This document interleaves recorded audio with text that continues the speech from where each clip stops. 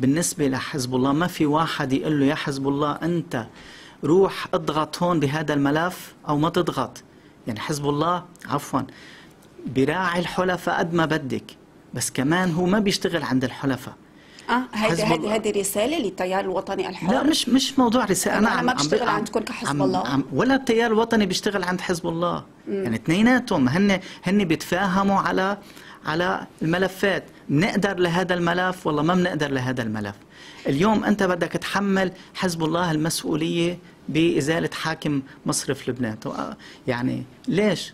ليش بدنا نوصل هو- لهون؟ هو- التيار الوطني الحر طالب كان من حزب الله اللي هو الحليف اللي عامل مع ورقة هذه التفاهم اللي كانت متينة جدا. آه، التيار الوطني الحر وفر غطاء مسيحي للمقاومة لحزب الله وهيدا الكل بيعرفها لو ما هذا الغطاء كنا بنعرف شو كان صار بالبلد. كان طالب التيار الوطني الحر إنه يوقف الحزب على خاطر هذا التيار اللي هو يمثل شريحة كبيرة اليوم من المسيحيين يعتبر أقوى كتلة اليوم بموضوع استحقاق رئاسي.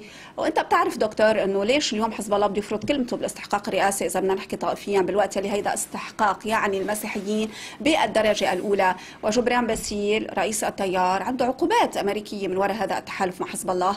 وضحى بمستقبله السياسي كما يقول يعني أوساط التيار. بالآخر لقى حزب الله بأهم استحقاق ما بيوقف على خاطره أنه لا هو ما بده سليمان فرنجية لأن ما عنده لا نايب ولا يعني كما يقول يعني التيار أو أوساطهم ليش أنتم عملتوا هيك مع التيار الوطني يعني الحر أو حزب الله لما اولا لك أولا مش صحيح إنه مش واقف على خاطره. بالجلسة اللي صارت مع سماحة السيد نعم. ما هو قال له لا جبران. آه قال له أنت مرشح؟ قال له لا أنا مش مرشح. مم. قال له أنا بوثق باثنين هولي ما بيطعنوا بال بالمقاومة بظهر المقاومة. أنت وسليمان فرنجية. فأنت مرشح؟ قال له أنا مش مرشح. فإذا بقي سليمان فرنجيه طيب ليش اليوم عم نحاول نحن يعني نفتح المشكل بهذا الموضوع؟ فيما في إمكانية أنه والله نحن نعمل تفاهم نحن وسليمان فرنجية ونقعد نتفق, نتفق كيف بدنا ندير البلد خلال السنوات القادمة. اللي عم بيصير أنه آه، رئيس التيار قال لا أنا كان ما عنده. وجهة نظر ليه ما بمعزل؟ بمعزل. أنا عم بقول أنا كيف عم ينشاف المشهد. نعم. عم بقول رئيس التيار ما بده. طيب ما بده حزب الله بده سليمان فرنجي. طيب شو بتعملي بيبقى يعني عم البلد بتقلي حزب. الله بده يفرض رأيه باستحقاق ما عم رئاسي. يفرض. هو عم بيقول تعال نتحاور. تعالوا نتحاور. إيه. وما عم يفرض هو ليس الناخب الوحيد في المجلس النيابي. يعني لاعب كلمته؟ أساسي. لاعب أساسي. طب ما الآخرين لاعبين. وهذا أكبر دليل على أنه حزب الله لا يستطيع أن يفرض رئيسا للجمهورية إلا بالحوار والتفاهم مع الآخرين. طب بطل في أسماء دكتور صادق النابلسي إلا سليمان فرنجي وجبران باسل مع حفظ الألقاب. يوثق فيهم أمين عام حزب الله. وبيقولوا لك طب إنه شو كل مشروع الدولة عدم الطعن بالمقاومة؟ يعني هيك كمان السؤال بيطرحوا البعض إنه خلص نحن بدنا رئيس لا يطعن المقاومة. والباقي شوفوا شو بدكم تعملوا. أنت بتعرف. ال- أنت معتقد الموضوع هو سهل؟ يعني رئيس جمهورية يطعن المقاومة في ظهرها؟ يعني عم نحكي عن حرب أهلية. يعني نحن عم نحكي عن عدم استقرار. نحن بدنا نجيب رئيس جمهورية يعملنا استقرار وتفاهم بين القوى والمكونات اللبنانية ولا بدنا نجيب واحد يعمل مشاكل. شو بدنا؟ بس ما في إلا طعن المقاومة. يعني في كتير في برنامج إصلاحي. في بدك ما تشوف هو شو بدنا نحن بدنا. نتفق مع رئيس مع رئيس يعمل تبريد للأزمات الداخلية. بدنا بدنا رئيس يحكي مع الكل يقدر يتفاهم مع الكل حتى نطلع من هيدي ال- الأزمة. إذا بدنا رئيس مواجهة مثل ما بده سمير جعجع يعني فتنا بالمشكل وبالحرب الأهلية.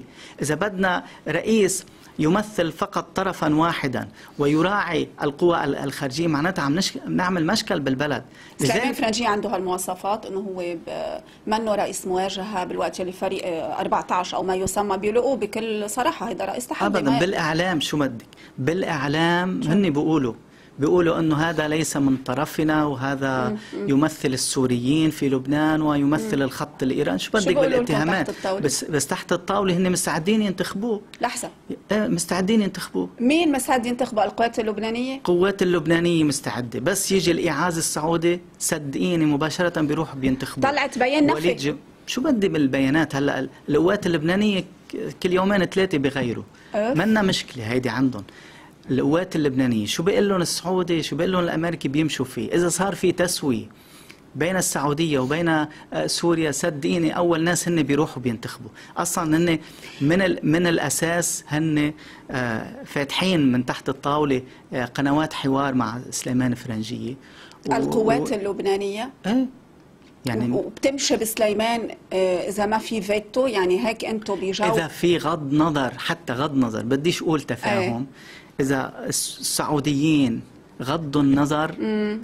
القوات اللبنانية جزء منهم مش بالضروره يروحوا أي. كلهم المهم تحت يعني. النصاب يعني يأمنوا النصاب هلا هن كانوا واضحين وطلعوا بيان أوكي هلأ هن رأس حربة هلأ نحن في مرحلة نعم. ما يسمى إدارة الصراع طبيعي كل واحد هذه آه، بيقولوها بالعلاقات الدولية آه، فيما يتعلق بإدارة الصراع مطلوب الحماية الاكتساب المنع هذه الشروط المطلوبة هلأ هن في إدارة في مرحلة إدارة الصراع طيب. بكل الأحوال أنا بقول لك إذا صار في غض نظر سعودي واجت اجت كلمة السر. القوات اللبنانية وليد جنبلاط كلهم بيروحوا بينتخبوا سليمان فرنشي هلا ما نضجت وسلام وسلام على التفاهم مع التيار الوطني الحر بين حزب الله والتيار. المهم أن يتامن إيصال سليمان فرنجية بالنسبة لحزب الله. ما كمان أنا لازم يفهموا البعض.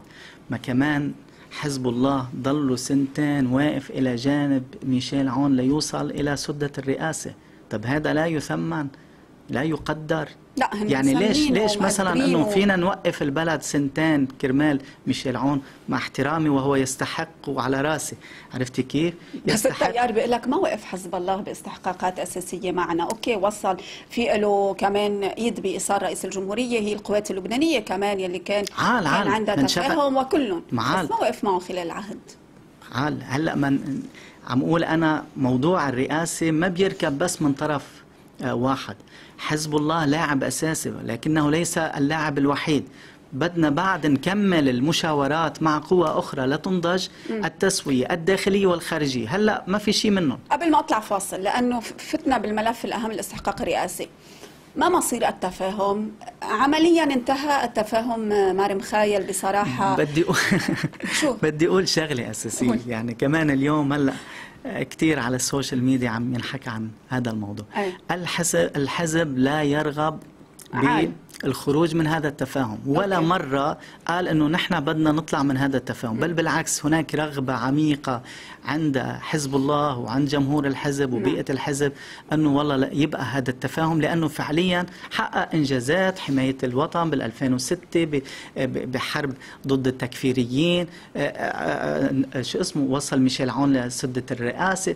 في إنجازات تفاهم مسيحي مسيحي وصل ميشيل عون إلى سدة لا لا مش مش صحيح مش صحيح, مش صحيح. لا التفاهم المسيحي المسيحي هو جزء مكمل. كبير. ما ما آه أوكي.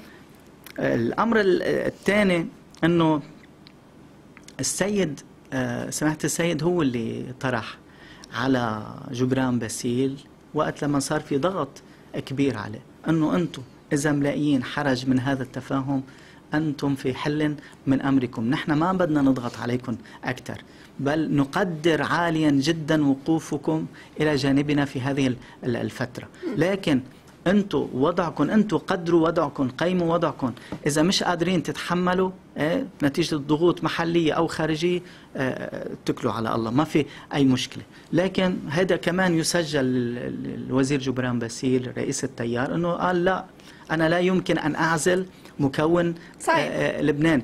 بس كمان بدنا نتذكر إنه حزب الله لما عمل عمل التفاهم مع تيار الوطن الحر كمان كان آه عم بيقول إنه أنا ما بدي أعزل مكون مسيحي لبناني أساسي بالبلد. النقطة الثالثة اللي هلأ بس بكلمة تفاهم انتهى. هلأ شوف التفاهم هل بدي إياها منك؟ يعني وبصراحة وبمعزل اليوم إنك على محطة ألو تي في. لا لا لا أنا عم بحكي بكل موضوعية وصراحة. أنا عم بقول لك التفاهم هلأ بمرحلة رمادية. لا هو اكتسب شكل جديد. ولا هو حافظ على نسقيته السابقة. اليوم اللي أنا بدي أقوله أنه إذا كنا عم نحكي بإيجابية المطلوب فك الاشتباك وإلا الطلاق بالتراضي. مش بالضرورة نحن إذا بطل هذا التفاهم يشتغل ويعمل عمله أنه نحن نروح إلى اشتباك. خلينا ننظم خلافاتنا. إذا ما في تفاهم يكون في تحالف. على الموضوعات. نقعد مع بعض ونشوف في إمكانية نتفق على هذا الموضوع مثل ما بيصير آه، مع آه، الحلفاء. بس في شغلة أساسية يعني شوفي حزب الله اختلف هو حركة أمل فيما يتعلق بترشيح ميشيل عون لرئاسة الجمهورية. مزبوط بس ما صار في هذا الاشتباك العلني. وبلشنا يعني نحكي خطابات رنانة يمين وشمال. ليش اليوم ليش اليوم؟ إذا حزب الله قال أنا بدي سليمان فرنجيه آه، نقوم نحن بالعلن مع إنه هذا الأمر متفق عليه بالداخل برجع بقول لك لأنه هن أطراف المسيحيين بيقولوا لك ليش حزب الله بده يفرض كلمته ومح ورئيسه مرشحه على طرف المسيحيين؟ بحدا بيجي برئاسه سيدي، ما مجلس عم نواب يفرض هذا ما عم يفرض. سليمان فرنجي هو مرشح رئاسي حزب الله عم بأيده. مثل ما ميشيل عون كان مرشحا رئاسيا وحزب الله دعمه. ليه ما بتأيدوا من يتفق عليه المسيحيون اسم وسطي هن متفقين. ما إذا بتطرحوا اسم وسطي يمكن طب يتفقوا. طيب حطوا في اسم ثاني في اسم ثاني